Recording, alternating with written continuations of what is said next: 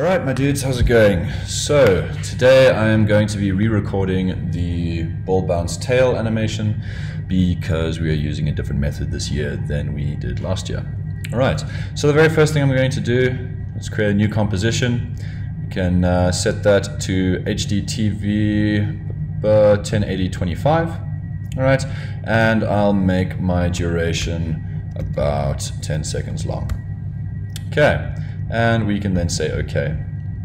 Cool, so here's my workspace. The first thing that we're going to do is we're going to create a body for my character. All right, so we'll create an ellipse, and we don't want this to be too large. All right, so I'm going to make a fairly small ball, and this is simply because we still need to add our tail to this piece. Okay, now the anchor point, we are going to grab our pan behind tool, shortcut for that is Y, and we're going to lock it to our lower left corner. All right.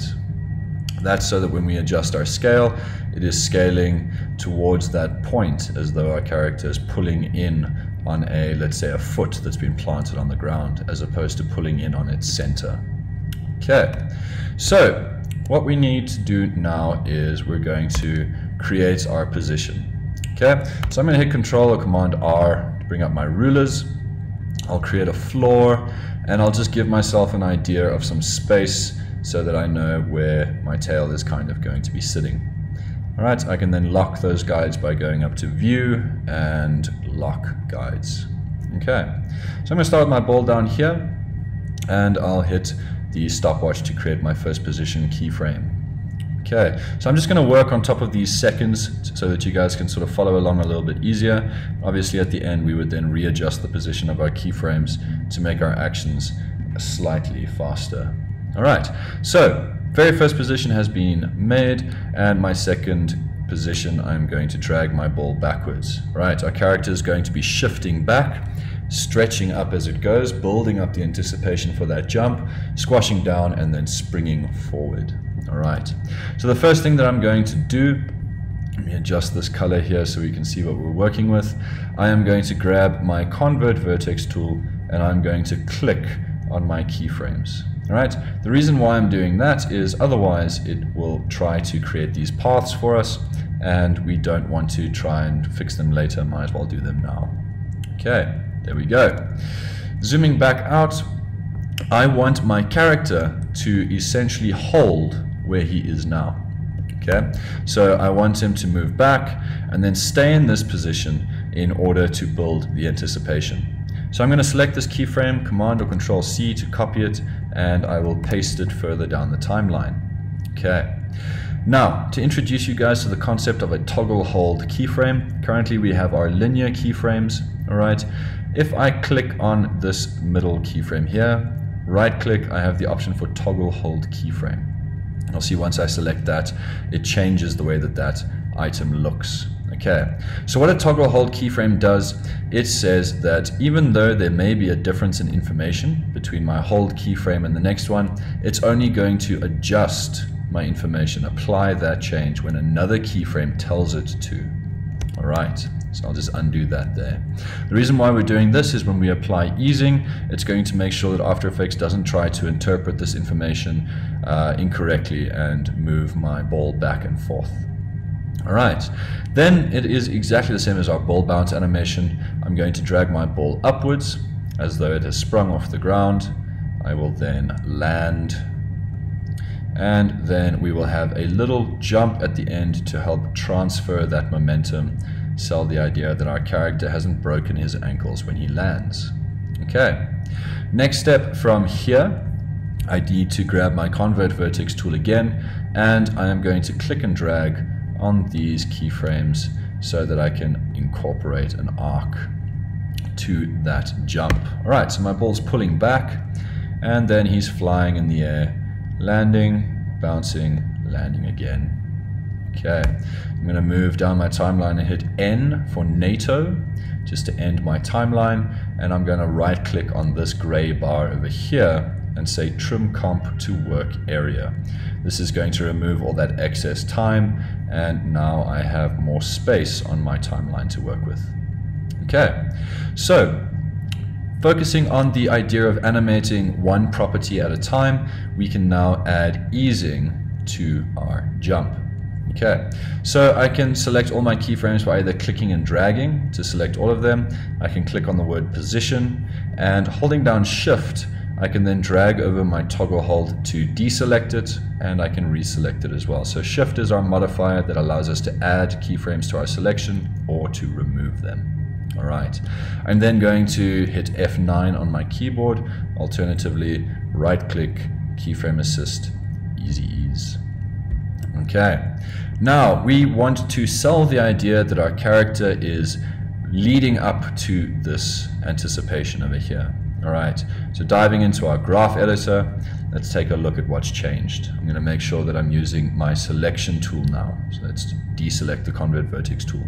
All right, so the first thing you'll notice is that our keyframe here is floating in midair. All right, that refers to the toggle hold frame. So I'm just going to quickly select that one and drag it back down to the floor. And this will allow us to work with the curve nice and simply. All right. So I want to sell the idea that our character is starting off quickly, right? So he's pumping across and then easing into that final position. So grabbing my little handle over here, right? I've got this little keyframe selected and I'm going to drag this all the way to the left. Okay, I'm going to leave this handle as is. This little arc here provides us with just enough time for our character to look as though he's um, overcoming momentum and speeding into that point. And now we have that nice aesthetic movement going on there. All right. We then have our toggle hold where nothing is going to take place. And then moving on to our third and fourth keyframe here. All right. So we remember with our ball bounce, we always want our ball to leave the ground at the jump as well as the bounce as quickly as possible. It's going to be its slowest up here at the top of its arcs and in order to do that, we are going to adjust these handles to create some very fine, harsh peaks. All right, so if I play that back, you'll see it soars off the ground very quickly and it then hits the ground very quickly. All right, because that's happening over here as well, I can quickly grab these handles and do the exact same thing. All right, so if I zoom in here just to show you what I've just done, all right. Uh, let's move a little down the timeline so we can see that. Okay, so I'm going to push these handles as far to the left and then as far to the right as possible. All right, now if your graph editor doesn't look like mine, if it's not automatically scaling like this, you can turn on and off this little auto zoom. All right, so that's what does that for us. And when my ball hits the ground, I don't necessarily want it to slam down. So I won't make this peak as harsh. We'll kind of let it just come to rest there. Okay. So playing that back, our motion's starting to, to look pretty slick, right? Biggest issues at the moment now is that our ball is coming to a halt in midair. Okay, and that is because at our keyframes here, where our ball is in midair, you'll see that it is resting on this little horizon line where it is currently moving at zero pixels a second. I'm going to zoom in there and I'm going to raise this off of that horizon line slightly. Okay, it's important not to raise it too high. If I do, you'll see that it affects my curve. All right, so I want to make sure that I do lift it high enough that my ball isn't stopping in midair, but not high enough that it breaks the curve that I am creating. All right, and it helps to have both of those keyframes sitting on top of each other. So I'll do the same when my ball is in the air for the second time ever so slightly, pulling that off the horizon line, like so. Alright, so now if I play that back, we slide backwards, shoot into the air, and jump over there. Alright, so the reason why it's looking so slow here is because we're not moving as far and we have an entire two seconds for this ball to hit the ground. So we'll be adjusting the space or the uh, position of those keyframes in a moment. Alright, cool. So at the moment you can see that the space between all my keyframes is equidistant.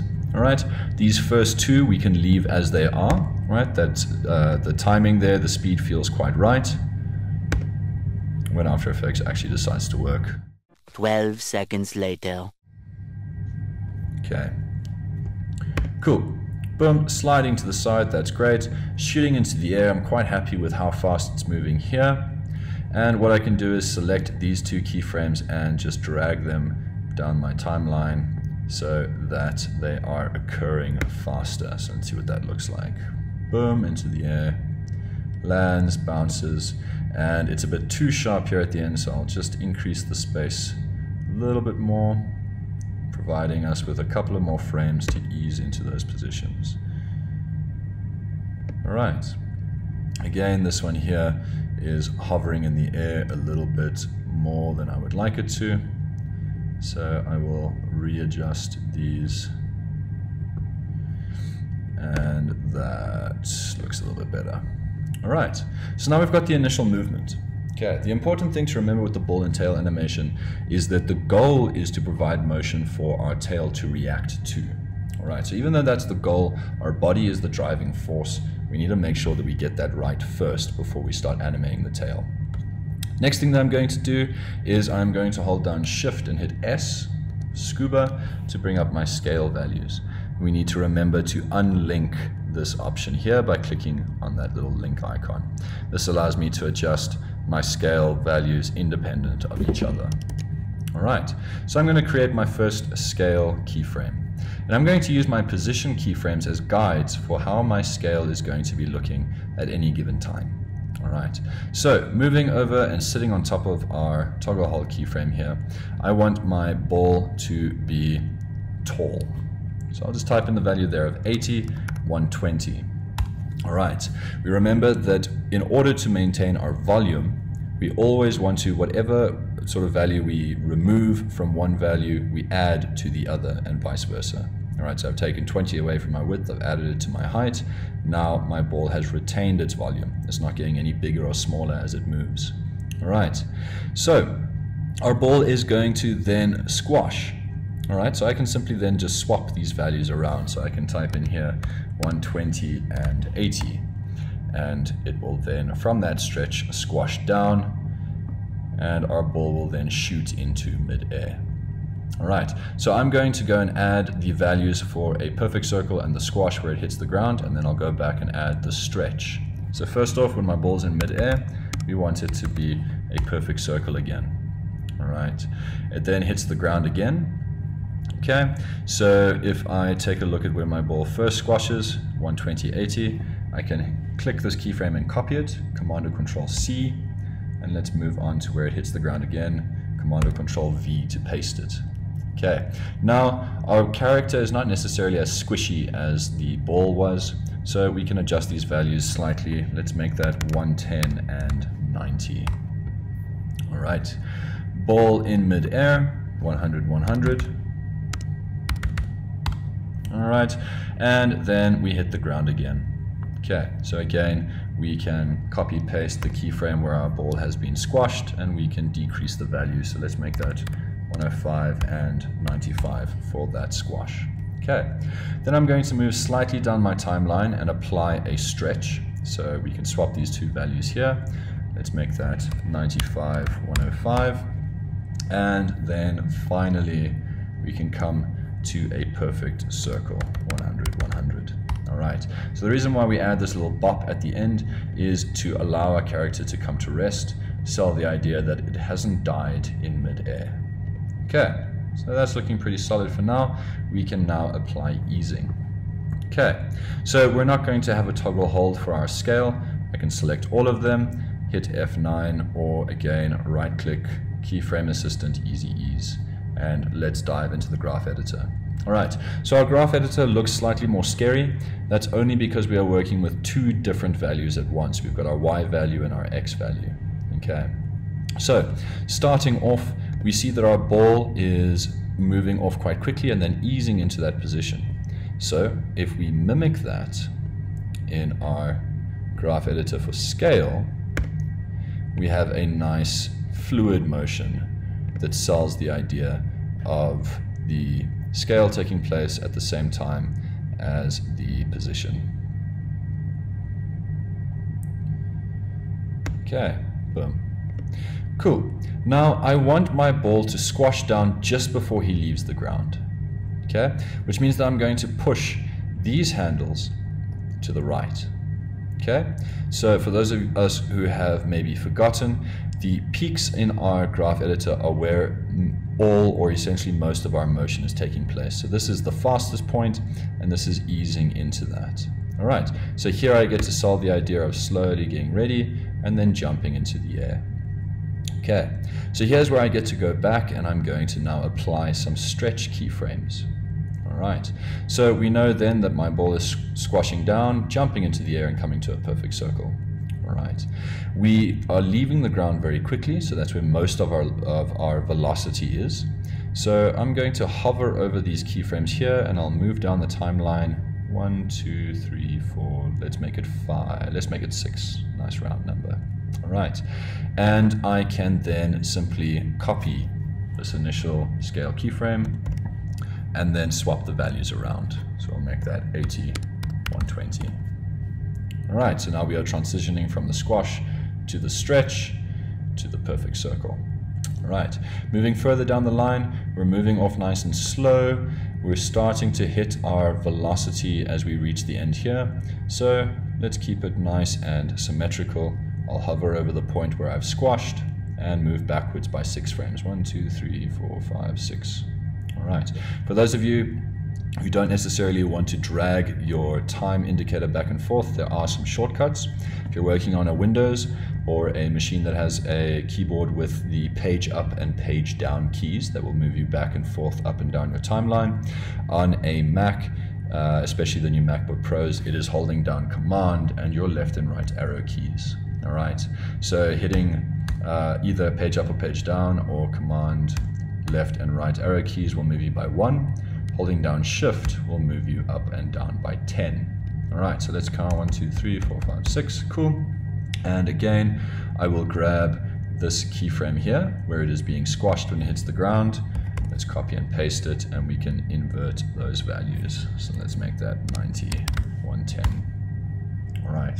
So I can either keep it to the same scale, all right, but because our character is starting to fall and he's not necessarily a squishy character, we can actually have slightly less of a stretch there. All right, and then for the final place here, I'm not going to add a stretch in between the two squashes. All right, our graph editor will be able to handle that for us.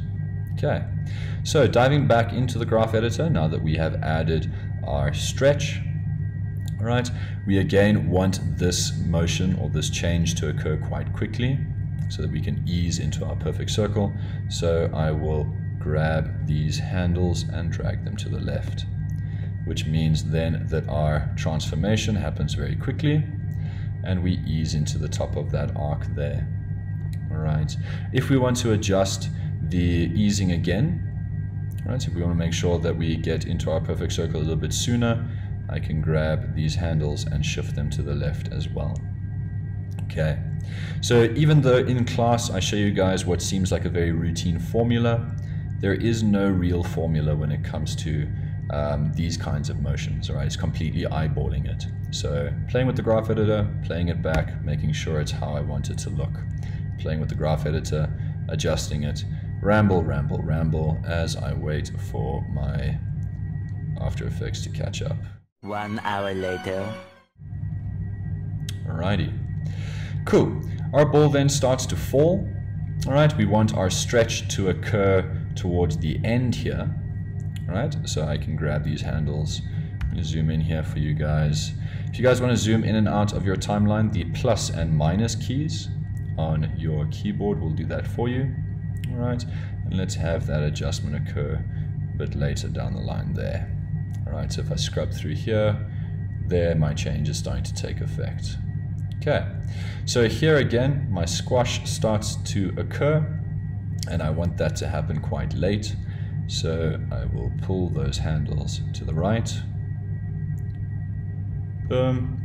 And then if I play this section back, we can adjust our scale so that our squash ends quite early on. Alright, so I'm telling it to curve faster to ease into that circle and then ease into this squash only before it hits the ground. Right, and then those last little blips at the end, I'm going to leave them as they are. Cool. So that is now our scale process finished. Okay, next up, I'm just going to quickly relabel this layer so that I know we want to get into the habit of working neatly. So that is our body, and I'm going to lock it by clicking on this little lock icon over here. Right, which now means that I can't accidentally add any shapes to this layer, and I can't break any of my keyframes. All right, so the next step now is to create our tail. Right, so we're going to go back up to where we have our convert vertex tool, click and hold and grab our pen tool. Okay, now the pen tool works the same way as it does in Photoshop and Illustrator. We can adjust our fill color, we can adjust our stroke, and we can turn these on or off by clicking on fill and stroke. Typical rule of thumb, anything in After Effects that is blue is a button. All right, so with my pen tool, I am going to click to create my first point. You'll see it now makes a shape layer for us and I'm going to click and drag down or up. All right, and by clicking and dragging, I apply these Bezier handles. Bezier just simply meaning curvature handles to my point. All right, to close a shape, I need to then click on the initial point, right? So these are our vertexes or vertices. Okay, click and close, and now I have my tail. I can adjust this as I see fit. Okay, cool. Now, I'll grab my selection tool again. Let me just click off of that tail and then reselect it. Okay, so because of the method that we'll be using for our ball and tail, we are going to be doing what we call a pre-composition. All right, so compositions, if we take a look at my timeline, it's actually called comp one. We can see in my project panel that I have that comp one as well. A composition is the box inside of which we are currently working. All right, so rather than working on the tail inside the same box as the ball, I am going to pre-compose this tail. I'm going to put it inside of its own box, and then we are going to animate that box. All right, I'll show you why we take this step after we have finished the animation. All right, so with my layer selected, I can right click and I can select pre-compose. Right? the shortcut for that is Command or Control Shift C. When we select that, we get a little box here this allows us to relabel said box and we don't need to worry about any of these options over here. So I'm just going to call this tail pre-comp and I will hit enter. All right, so we'll notice a couple of things now have changed. Right, our tail pre-comp, the color of our layer has changed. The little icon next to it shows us the composition little logo thumbnail as opposed to the shape layer one. All right, we've got our bounding box indicators around the entire edge of our workspace and our anchor pointers here in the center. Cool. So let's grab our pan behind tool, shortcut is Y, and we can then position that at the point of origin of our tail. So this is where our tail is going to be connected to the body. All right, so I've decided that it's going to get poofy towards the end. Obviously, I could also animate it where it's thick, where it joins the body and has a sharp point for the tail. Let's stick with this one for now. It's important to remember when making our tail that we're not going to draw it as though it's already been misshapen or deformed. All right, it's going to mess around with our effect. So we want to draw it at a standing or a resting position. Cool. So the next thing that I'm going to do is I'm going to grab my shape tool and I'm going to grab the rectangle tool. All right. So with that now done, I am going to click and drag to create a bounding box around my tail. All right, you'll see that it has now made a mask. So anything within this bounding box will be visible, anything outside will not. Okay, so essentially think of a mask as having placed a sort of solid object over the asset and now I've cut out a hole to reveal. Cool. Then I will grab my selection tool, very important, otherwise we can end up making multiple masks on the layer, which we don't want at the moment. And I will then just deselect and reselect it. Right, so now we have this wonderful bounding box over here. Moving on to our effects and presets, we are now going to apply our bend effect. If you don't see this panel, you can always go to Window and check effects and presets. All right, so I'm going to search for bend it right? And you'll see that we have a distortion effect called CC Bend It. Okay, so one of the easiest ways to apply an effect to a layer is simply by clicking and dragging. you'll see that I can't apply it to anything until I hover over this layer. That is why we locked our ellipse layer, our body layer. All right, so we can't accidentally apply it there. We'll drop it on our tail. Depending where your tail currently sits, it may have disappeared. That's perfectly fine. We're going to fix that now. All right, so as soon as I drop the effect onto our tail, you'll see in our top left here, we have our effect controls. If we don't see that, we can also again go to window and turn on effect controls. All right, and here we have got the effects and controls that we can adjust and animate for this effect. So we've got our bend option and then we have our start and end. And this is where we set the defining parameters of our asset. So we've got these little dots over here and I can move them around as necessary, but you don't always know which is your start and which is your end. So the easiest way to go about doing that is just clicking on this little button over here. All right, so this is our start option. You'll see that it was hovering over this piece here, so that's showing that that's our start parameter, and I'm going to click and drop it where our tail would attach to the body. All right, and I'll do the exact same, except I'll place it where the tip of my tail lies. All right, so now we've set that up. If we've done it correctly, when I hover over this value 0, 0 next to bend, if I click and drag to the left and right, our tail will deform. Nice. If I push it too far, you'll see that it starts to disappear. That's fine. We're not going to be pushing the tail beyond roughly these two sort of extremes here. So that's fine for us. And I'll just reset that to zero. Okay. Cool. So now it is time to set up our tail so that it's actually connected to my body. With my selection tool, I am simply going to click and drag this layer and make sure that it is attached to that body. All right.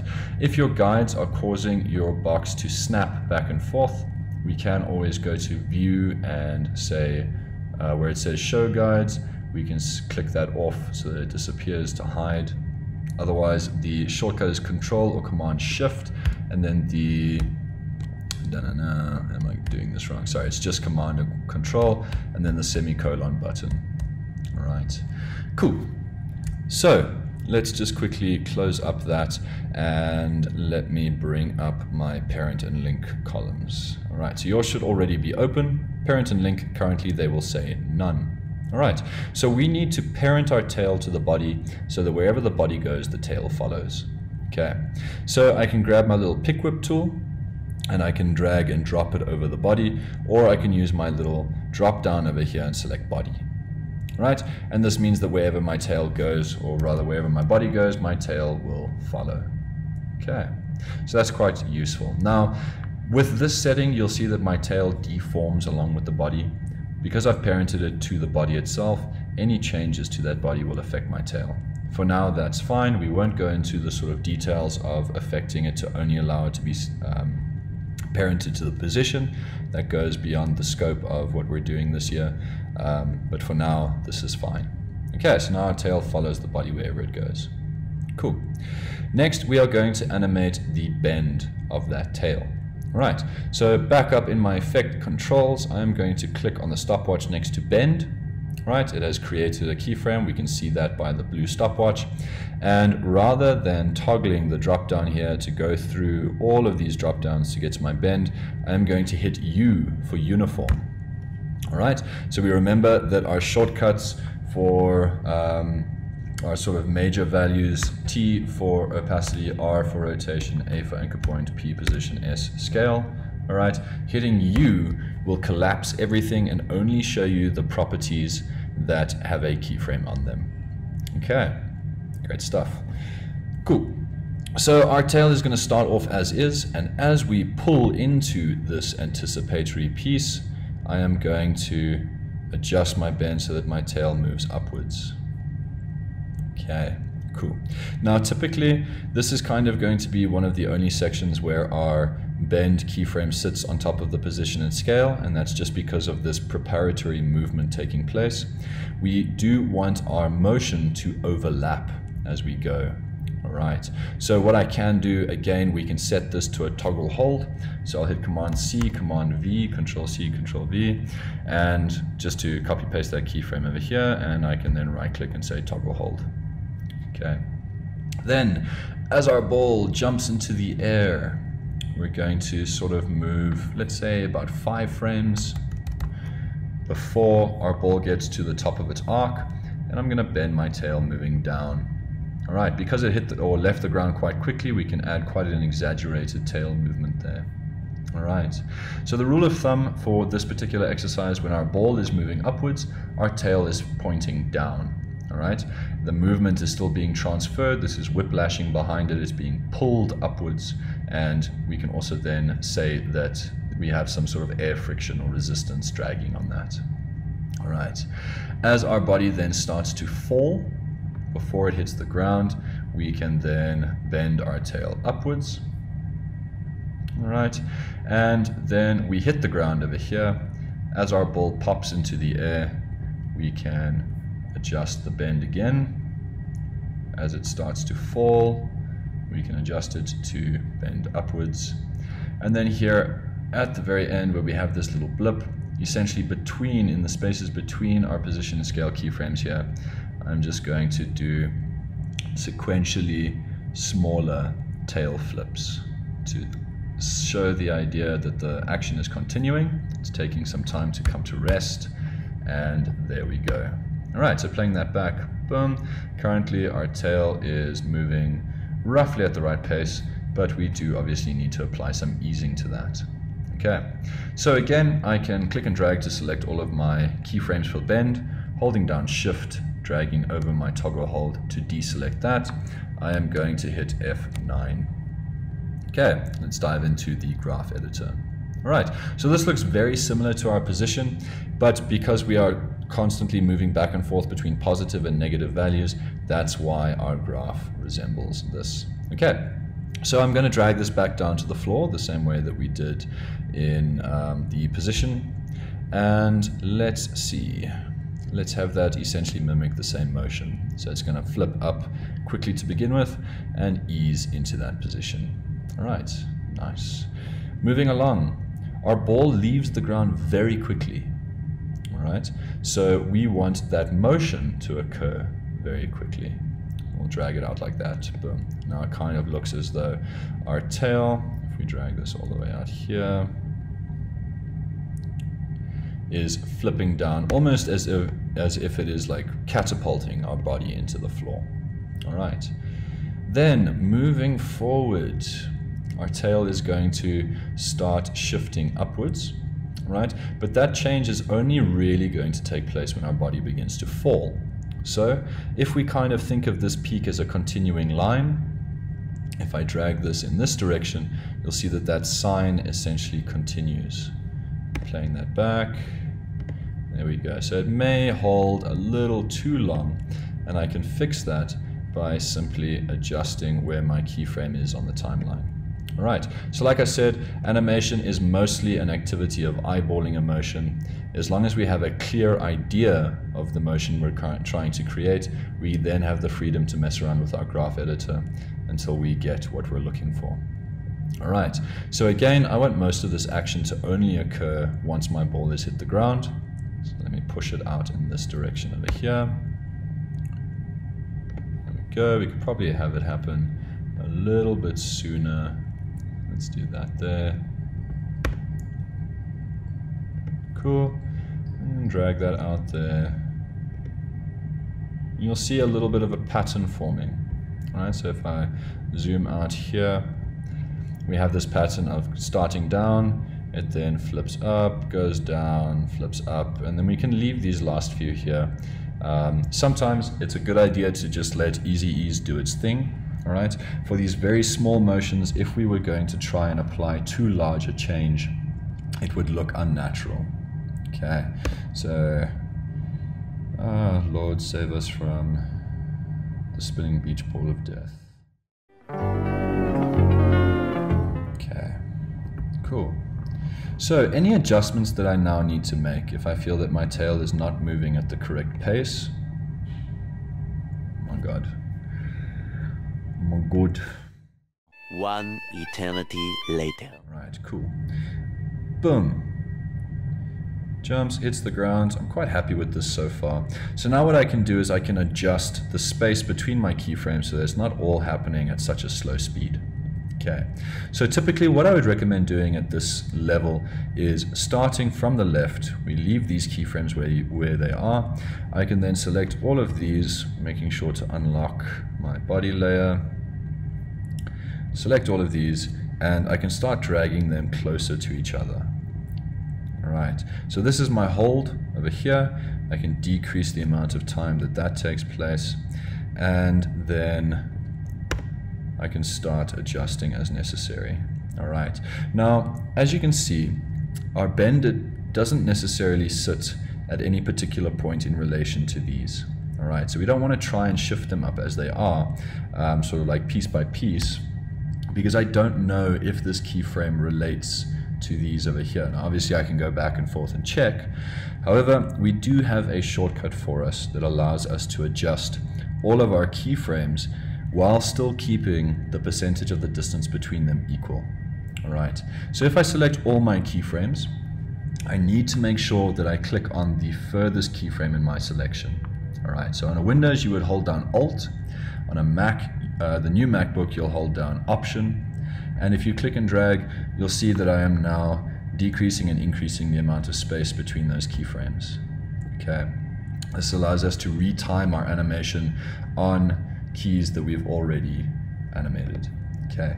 The one thing that we need to keep a lookout for when we use this method, if I zoom in here, let's take a look, right? Sometimes when we do this, our keys do not fall on an actual frame indicator. So currently this exists at a halfway point between one frame and the next, which technically doesn't exist. Okay, so when this happens, we then just need to go in and move our keys to the closest edge right? So kind of just taking an estimated guess. Because they are now roughly only moving by half a frame, doesn't usually matter in which direction we change them. All right, so I would go back and forth and adjust all of these as necessary. Okay, so that's essentially it for our ball bounce animation. We have our secondary motion taking place, our tail is responding to the body, and it's coming to rest. Okay, then I can hit N for NATO, to help me sort of just close off that. Otherwise I can hover over this blue head, drag it back and forth, right click on this gray bar again and say trim comp to work area. All right, so in the next episode I'll be taking a look at applying audio to these, but for now we can call this one finished. I'll see you guys next week. Ciao.